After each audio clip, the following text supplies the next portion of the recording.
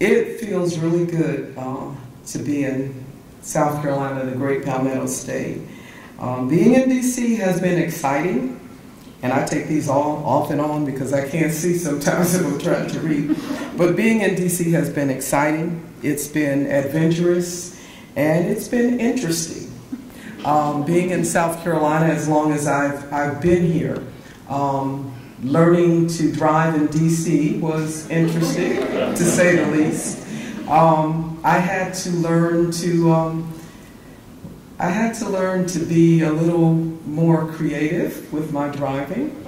Um, because I was driving like a South Carolinian, just going along, or anyone in the South. I did no pun intended. But I was just doing what I do in South Carolina, just driving along. And this lady blew her horn at me. And I guess I wasn't going fast enough, so um, I blew my horn back. I thought she was saying hello. This is when I first got here. And it seemed to bother her that I blew my horn back. So she made it a point when she passed me to um, give me what my uh, colleagues in DC told me is the DC wave. I hope to um, not get that DC wave anymore. So I stopped blowing my horn back. I did think she was just being friendly, but you know, that, wasn't it. Uh, the Metro, um, which is a wonderful system in DC and the DMV, um, and it took me five years to even get on it to really go somewhere by myself because I wanted to make sure I could get back. And so, you know, we drove everywhere here, we drive everywhere here, and I wanted to drive, but driving in DC is different. different. Uh, so I did finally get on. And the last thing I wanted to tell you, which I, I just find so comical, when at SLIS I have a um, visor that says cocky librarian. And I had to explain that. because I did walk around with attitude when I wore it. and I'm glad I got to see Cocky because I really love him. And I, you know, you'll have to tell him what I'm saying about uh, this cocky librarian. Then I have uh, something in my office that says, um, famously hot and cocky. Well, I have to explain that too. And some things you just let be, but you know, I needed to explain what was going on with the famously hot and cocky, and so I did. Yeah, and and yeah. So. but I did have someone to come from the Talking Book Library, which is here. Uh, in in this uh, state library, and she knew right away when she came in. She said, "That must be someone from Columbia in that office," and so that that's that. Um, to Dean Reichert and to the interim director, um, to Dr. Copeland, to Mike, you deserve that award because I tell you what, you did everything for me, and, and for that I'm very appreciative. Yeah, he was right on it. Any, anything I needed, he made sure. So thank you. And to all of the recipients that received an award tonight, good job. First Lady Prestes. Uh, and I can't, I, you know, you don't want to call names because when you call names, you may forget someone. So everyone, I love you. Uh, and I mean it. And I mean it. Um, I want to thank all of my friends and my family members that came here tonight. Uh, and I have a lot of friends, right? And family members. My family members, I have a niece that looks just like me. and She said, Tia, hurry up and get here. They think that um, you're, I'm you. so I said, I'm coming, I'm coming. And lastly, to, if you notice a lot of red in this room, to my sorority sisters, the dynamic ladies of Delta Sigma Theta Incorporated. Thank you so much. It's nothing like having sisters.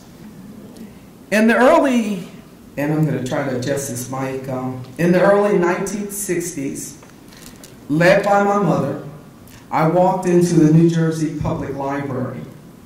I recall walking quietly down the hall in the larger-than-life building into the children's area. I could hear my patent leather shoes as they touched each floor tile. It was a rite of passage to get a library card at the age of five. I proudly walked out of the library with the responsibility to take care of those borrowed books. And after that visit, I became a lifelong reader. Somehow, I always found myself around books in, in a library while attending college uh, at Claflin University in Orangeburg, not far from here. I was a work study student. And I was assigned a position in the library where a group of librarians recognized the intrinsic values that had already been woven into my life. They anointed me and dyed in the wool that I would be a librarian. Boy, did I fight that. After graduating from college, my first job was in the main library in Charleston, South Carolina. I taught school for a few years, but that ended when I became a mother. And might I add that being a, being a mother is the joy of my life. Four years later, I began working at the Cayce West Columbia Library, and I started as a page. And you know what that entails, shelving a lot of books. A lot of books. And then I finally decided to pursue a library science degree while working a full-time job and being a full-time mom. It wasn't an easy task, but you know, it, it, it, worked. You know, you did what you had to do, and I had a little girl in tow, and uh, she read books because I wanted to make sure, and a lot of you have seen her, she's here with us tonight. But um, when I finally graduated, someone said she should get a degree too for just being in, in, in the classes that I was in. I was recruited by um, a former state librarian and accepted a job at the South Carolina State Library as a director for the Talking Book Program. And the Talking Book Program still goes on. Uh, in every state, there's a library for the blind. And this library, very prestigious and have always done a good job, and they're still doing a good job. Um, and as you may know, I'm a consultant, so I do a lot of traveling. And so when he talked about Tommy Preston being at Boeing and something about the airplanes, I just, I don't even want to talk about it because that, that's a part of what I get to do almost every, every other week. I'm flying somewhere. Um, so talking book program here, and then my next move was a dream move to the Library of Congress. I could not do that job if I did not have the support of my family. And I have a, some people have a five-year-old or two-year-old, whatever. I have a 92-year-old. And that's my mom, who is not here with us tonight. I thought they were going to sneak her in and surprise me. I'm glad they didn't, but because it would have been harder to get up and, and talk. But they take care of my family, my village takes care of my mom, and it makes it possible. And they've supported me in my dream to be at the Library of Congress, so for that I'm very grateful. I traveled the entire West Coast, and um, that means that uh, every almost every other month I'm on the road going somewhere. So for the past four years, I mean, I'm sorry, for the past 10 years, I've been around uh, different states. I've been from uh, Grand Forks in North Dakota to uh, Juneau, Alaska, and I've been uh, around, let's see, Casper, Wyoming, to Honolulu, Hawaii, because all of that is my ter territory. So it's quite interesting. I know all of the state capitals, or at least I remember them now. and I did learn when you travel in the Dakotas, you don't go there during Sturgis. Not unless you plan to ride a bike. uh, and I've been on so many flights, once again, that um, I, when the flight attendant gets up, I, I actually know the speech. I can, I can just say what they're saying or just mimic it just for the heck of it. Let me paint a picture, if you will, concerning our lives as a beautiful piece of fabric. We all know to behold and touch a tangible piece of fabric with the most elaborate designs, there had to have been a lot of time and skills to create such a piece. Hence, our lives are likened unto a piece of fabric that has been produced by weaving and knitting, the very purpose and design of who we are as individuals and collectively together. These are the very threads that were woven into the fabric of my life. Here's a thought. When you see a loose thread hanging from clothing, you tend to cut or, or to tear it off. Why? Because it's out of place. So let's stand together as one piece of fabric.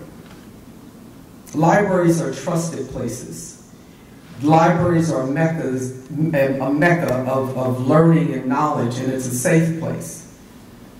I see you standing with me as you understand and agree that blind, visually impaired, and people being differently able should never be defined.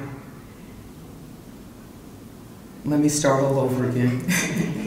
I see you standing with me as you understand and agree that blind, visually impaired, and people being differently able should never define who they are or decide what they or you are able to accomplish. Do you agree?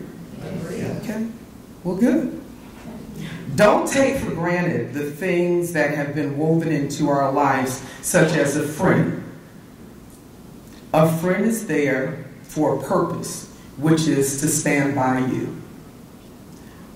By us being here tonight, it shows that every thread is knitted together to create and to form the most beautiful piece of fabric. Look at yourselves. While traveling in a small bookstore in Albuquerque, New Mexico, I saw the following, and I'd like to share it with you because it touched my soul. So, in our America, all people are equal. Love wins, Black Lives Matter, immigrants and refugees are welcome, disabilities are respected, women are in charge of their bodies, diversity is celebrated. Every voice in this room matters. And I thank you. Stand by me. Stand with me.